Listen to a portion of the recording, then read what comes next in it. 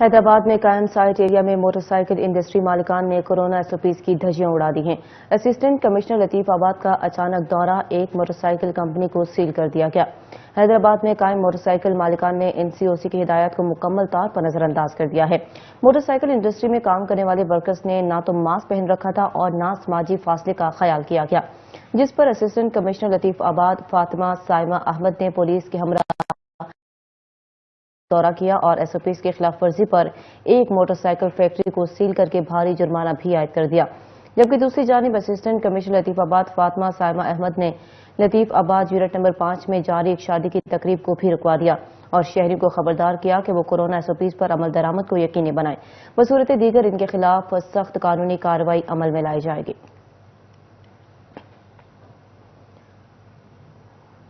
Justice Balochistan high court Abdullah Baloch का दौरा बसीमा